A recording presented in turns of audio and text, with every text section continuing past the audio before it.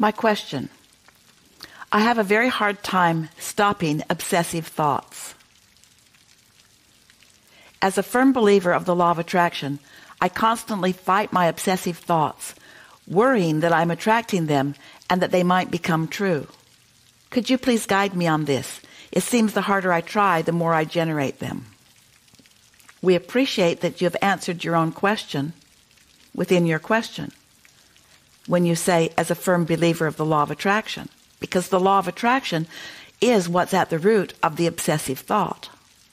It could be helpful for you to realize that you could not be a thinker of obsessive thoughts if you were not a good focuser. It's also important to understand that when there is an obsessive thought happening, a trail of them, that there is a lot of momentum going. And the words law of attraction and momentum really go well together. The law of attraction is the reason for momentum.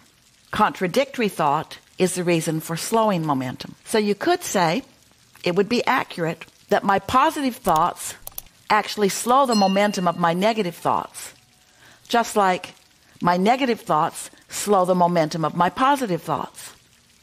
That's logical, isn't it? That's how it works. So, what you're really talking about here is making a stronger or clearer or more focused decision to focus on things that feel good. An easier way is to say, I really want to feel good. I want my obsessive thoughts to be good feeling thoughts.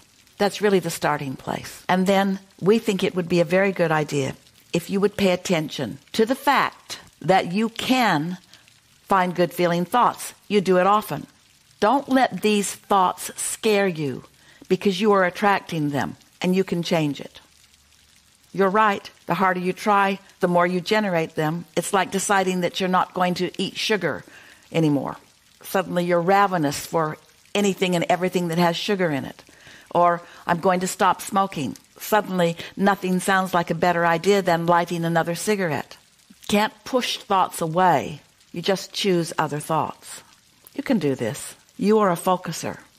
That's the thing that we take away from your question.